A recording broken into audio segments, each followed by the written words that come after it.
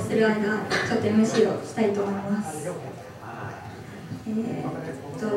私が最後に SU 参加したのがほとんど12月25日のクリスマスライブなんですけどまあ知ってる人もいるかもしれないんですけどその前の日のクリスマスイブの日に彼氏ができましてで、まあ、であの2月の17日に別れたんですよ。か SU 入ってずっと返してほしいみたいなずっと言ってたんですけど、まあ、まあできたもののすぐ破局したということでちょっと今日は元彼のキモい話をしたいと思いますなんか私あんまりメタルとするのとか好きじゃないんですけど元彼が結構ロマンチストな感じの人でこうあるごとにこう言ってくるんですよいろいろなんか寒いセリフを。でなんか一回こう手をつながれて、まず手をつなぐのが好きじゃないんですね。でまあまあまあしゃあない。手つなぐわと思って。つないでたらあのこう自分のポケットにこうやって入れてきたんですよ。よくあるやつと思ってドラマ見たことないけどドラマでよくあるやつやと思って。でそしたらなんか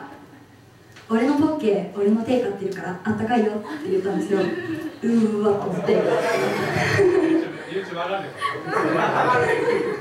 でなんかまあそういうのが多くて例えば年末に電話してる時に「もう会われへんの?」って言われて「そうですねもうちょっと年内は難しそうですね」って言ったら「そっか2018年の桃にはもう会えないのか」って言って「無理だ」でまあそういうことが続いてでまあ自分から私の方から LINE でちょっと別れてくださいっていうふうに言ってまあ久しぶりに2年ぶりにできた彼氏だったんですけどまあこういなくなった後自分から切ったくせにめっちゃ情緒不安定になってしまって最近あゆりとめちゃめちゃ話があるっていう。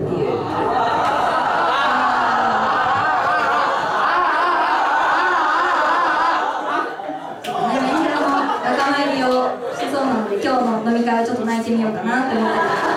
りしてるところです吸っちゃうかちょっと次の飲み会からちょっと吸ってるかもしれない。っていう感じでチューニングはありさんなんか喋ることありますか？コメントとか。はいじゃあ喋って。危ねうなぎとどんなえ危うく危ねう。なぎとどんなえ次行こチューニング終わりましたかじゃあ次の曲に行きたいと思います